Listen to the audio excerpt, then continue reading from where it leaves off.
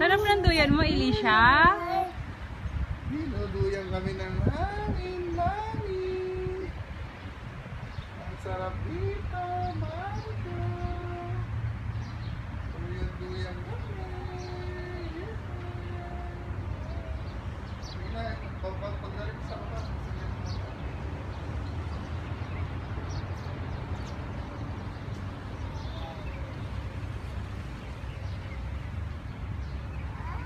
Wow, ang sarap naman dyan.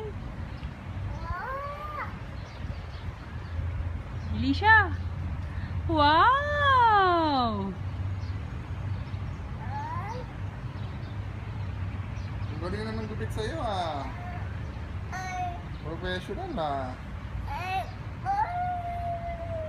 Wow, ang sarap naman dyan.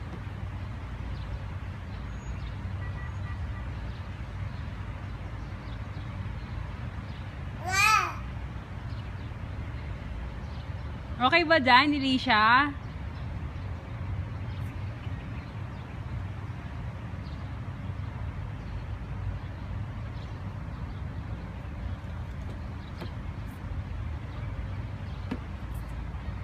Eee, sarap.